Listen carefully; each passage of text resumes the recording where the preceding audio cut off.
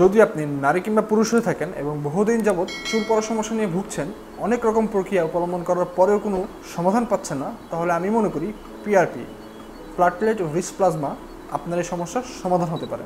Hello everyone আসসালামু আলাইকুম, আমি হৃদয় হাসান, আর আজকে আমি আপনাদের সাথে কথা বলব পিআরপি নিয়ে। পিআরপি হচ্ছে এরকম একটি প্রক্রিয়া যার মাধ্যমে আপনার শরীরের রক্ত থেকে কনসেন্ট্রেটেড প্লাটলেট অর প্লাজমা আলাদা করা হয়, যাকেই পিআরপি বলে। এই পিআরপিকে অ্যাক্টিভেশনের পরে আপনার স্কাল্পে ইনজেক্ট করা হয়ে থাকে।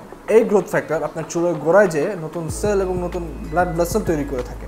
এর মাধ্যমে আপনার ছোট এবং পাতলা চুলকে মোটা হতে সাহায্য করে থাকে এবং আপনার চুলের গ্রোথ বৃদ্ধিতে সহায়তা করে থাকে, যার কারণে আপনার মাথার চুলের ঘনত্ব বৃদ্ধি পায় এবং আপনার টাক ঢেকে যায়। পিআরপি চুল পড়ার সমস্যার কোনো স্থায়ী সমাধান নয়, কিন্তু এটি ব্যবহারে চুল পড়ার প্রক্রিয়াকে ধীরগতি করে ফেলে এবং আপনার অবশিষ্ট চুলকে সতেজ ও মলিন রাখতে সহায়তা করে। পিআরপির কোনো মেজর সাইড এফেক্ট নেই।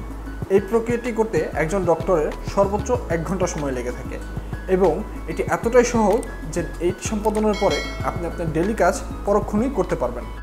যদিও এর কোনো মেজর সাইড এফেক্ট নেই, তবুও কিছু কিছু পেশেন্টের কপালে পানি চলে আসতে পারে এবং তারা অবশ্যতা ফিল করতে পারে। যদিও তা কিছু সময় পরে আবার চলেও যাবে। পিআরপি করার পরে কিছু সাবধানতা অবলম্বন করতে হতে পারে। পিআরপি করার ছয় ঘণ্টা পরে আপনি গোসল, শ্যাম্পু এবং কন্ডিশনার ইউজ করতে পারবেন। কিন্তু চুলের রং করা, পামিং করা এবং চুল স্ট্রিট করা, আপনি শুধু বাহাত্তর ঘণ্টা পরেই পারবেন। পিআরপি ট্রিটমেন্ট নেওয়ার আগে অবশ্যই ডক্টরকে কিছু বিষয় অবগত করে থাকবেন। যদি আপনার blood or platelet disorder chronic liver disorder several infection anticoagulant এবং যদি ব্লাড থিনার ইউজ করে থাকেন, তাহলে আপনি পিআরপি ট্রিটমেন্ট করাতে পারবেন না। তো এখন আমরা আসি হেয়ার ট্রান্সপ্লান্টে পিআরপির ভূমিকা সম্পর্কে।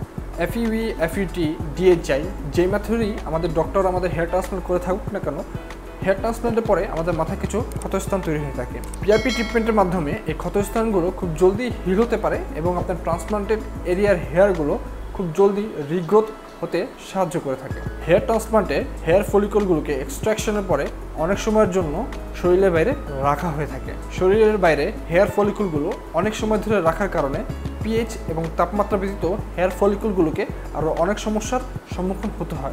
এই সকল সমস্যা থেকে ফলিকুলগুলোকে রক্ষা করার জন্য ডক্টররা নানা রকম সলিউশন ইউজ করে থাকে। পিআরপি এর মধ্যে অন্যতম।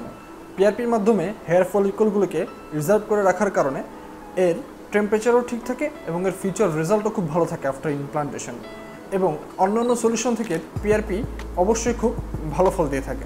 আফটার হেয়ার ট্রান্সপ্লান্টেশন পিআরপি করার মাধ্যমে আপনার চুলের গোড়াতে নতুন সেলস এবং ব্লাড ভেসেলস তৈরি করার কারণে আপনার ট্রান্সপ্লান্টেড চুলগুলো খুব জলদি রিগ্রোথ হয় এবং এর রেজাল্টও খুব ভালো চলে আসে।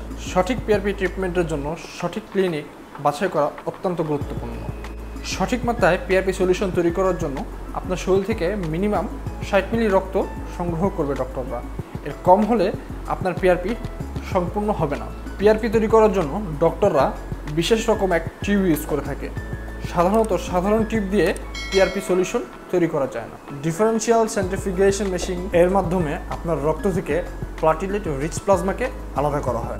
এবং সেই প্লাজমা আপনার মাথায় পুশ করা হয়। যদিও ডিফারেন্সিয়াল সেন্ট্রিফিকেশন মেশিন দ্বারাই মূলত রক্ত থেকে প্লাটিলেট রিচ প্লাজমাকে আলাদা করা হয়, তাই নিম্নমানের মেশিন দ্বারা এই কাজটি সম্পাদন করলে এর ফল ভালো আসবে না। তার জন্য আপনাকে অবশ্যই একজন অভিজ্ঞ ডক্টর এবং ভালো ক্লিনিকের শরণাপন্ন হতে হবে। পিআরপি শুধু আপনার চুলের জন্যই ব্যবহার হয়ে থাকে না। এটি অনেক সময় আপনার ত্বকের উজ্জ্বলতা এবং আপনার ইঞ্জুরি রিকভারির জন্য ব্যবহার হয়ে থাকে। পিআরপি চুল পড়া সমস্যার একটি স্থায়ী সমাধান নয়।